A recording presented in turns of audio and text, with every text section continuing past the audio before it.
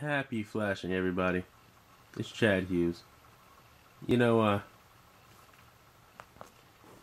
instead of doing a little review or a, a rundown, figured I'd give you a little preview before the first episode of XDA TV ROM Rundown goes on. So, oops.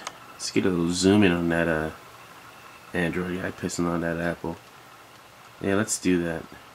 Okay. So anyway, figured I'd give you a little preview of a, of ROM so you guys can get a little uh, taste of it if you're scared to flash it. Because here's my thing: I know a lot of people are afraid to flash nightlies for some reason. Uh, I mean, well, it's not for some reason. I mean, they're nightlies. You know, they have bugs. You never know what bug you're gonna get. So, with that being said, I'm gonna take you for a little spin of CM7 also known as uh, Cyanogen Mod 7. And if you do not know who Team Cyanogen is, you need to uh, either read a book or uh, get a life. Uh, one or the other should help with that. Here we go with that sexy ass boot screen they always have. You know what? If if you can count on Team Cyanogen for one thing, it is a sexy ass boot screen. Let me tell you, they've always pulled through. I absolutely adore it. Adore this boot screen. Is that weird for me to say I adore it? No, I, I do. I adore the boot screen. I really do. Let's go ahead and get this baby started. Start up in 10 seconds. I don't, let me see if, you can, if I can zoom in here. Get that, uh, the full effect of that.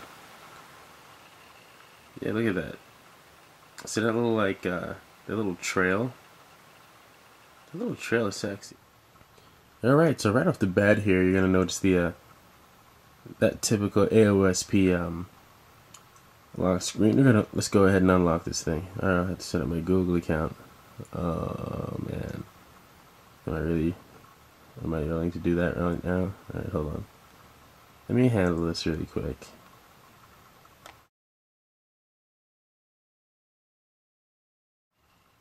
Alright, now that that's all good and finished. Sorry guys, I had to put my name in there. Guys and girls. I know it's not just guys. Uh, first thing you're gonna notice with Cyanogen Mod 7, if you haven't used it before, I mean, uh, you have ADW launcher as your stock launcher. I mean, if you like that, you know, that's good. If you don't, you know, you can change it, whatever floats your boat. Uh, I tried pressing the home button to see if they give you alternate launchers. It doesn't look like they do. Uh, but then again, this is a nightly, and that's not their job. Uh, that's why the market's there. Another thing I'm going to have to tell you is you're going to have to flash the uh, the Google applications such as the Market and Gmail and things of that nature. So if you're not really a big fan of flashing uh, extra files after you flash your ROM, uh, you're going to steer clear of this one. I don't suggest you do, but I mean you're going to do it. It's just in your nature. one of the biggest things with Cyanogen is uh, the settings menu. If I could get there without the phone being mean to me. Um, you know, the settings menu for for Cyanogen mod is it's just you know one of the staples of their development. I mean, you have so many settings to go through, from you know application widgets to input settings, performance settings, sound settings, user interface. What I really like about the user user interface menu is you can pretty much change anything, and uh, and I mean anything. Uh, you go from there. You have you know performance settings, I like to lock my home screen in memory, but I'm not going to use ADW. Uh, for one reason or another, I can't I can't get with ADW. I can't stand. This is a cyanogen menu. This is not a standard Android menu. I mean, you should know that, but this is not a standard Android menu. So this is, you know, this is pretty special as far as ROM goes. And you have your ADW settings built into the um to the uh, settings menu. Wireless and networks, call settings, you know, everything as usual, sound display location. If you want to take a look at that about phone, Android 2.3.1, that is Gingerbread. I'm using the uh, the Leak Evil baseband 11.19.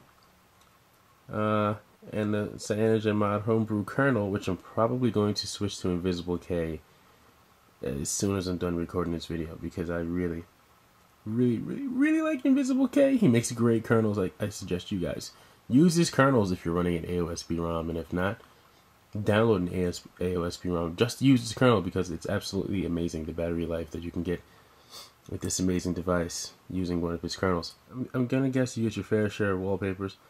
Uh, there's a you know live wallpapers to go along with it.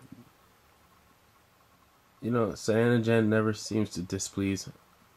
Uh, this is a modified version of the Nexus wallpaper. It's absolutely gorgeous, actually. I kind of like that. Wow. Yep, they never, they never cease to please, and all they aim to do is please, or show off their programming. Everything else is pretty much standard Cyanogen mod. You have your the CM7 camera, which I'm not going to show you because you know it's dark and I don't feel like moving and taking a picture and all this other nonsense. CM comes bundled with Dev Tools, um, File Manager, everything else you think you'd need. Um, that's pretty much it. I mean, I have TweetDeck on here. YouTube, you know, the, the Google apps, YouTube and all that. Has a music program, which is great. Uh, but I have no music on the phone, so I'm not even going to attempt to show you that.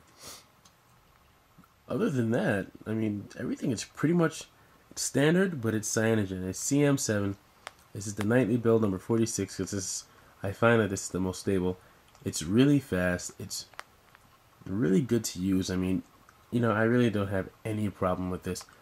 What I would like to do is download the uh, Madako Gingerbread Launcher, and then uh, that'll just complete my whole my whole day. And there's a great theme on XDA called, uh, I think, Dark Ginger. I don't know. But it's on XDA and it's an awesome theme. I suggest you download it. So that's a quick little ROM preview, not a rundown, but preview of CM7. If you didn't think you wanted to download it, you might want to download that now. Check it out. You know, it's fun. It's mildly stable. Uh, it's still in beta phases, but I, you know, I, you know, I use this as a daily driver. I mean, Cyanogen has been around for quite some time, and uh, this is the most non-broken release, as far as I'm concerned. And bundled with Invisible K's number 28 kernel, you can't go wrong. Okay, Chad Hughes, ROM preview, Cyanogen Mod 7, nightly number 46. I'm signing out. Shout out to everyone watching the video, and please, be careful with your ROMs. Here are some quick things I should mention you should download. Invisible K's number 28 kernel on xdadevelopers.com. Also, the CyanogenMod 7 released by Crack Flashers, and don't forget to get those Google Apps and ROM Manager.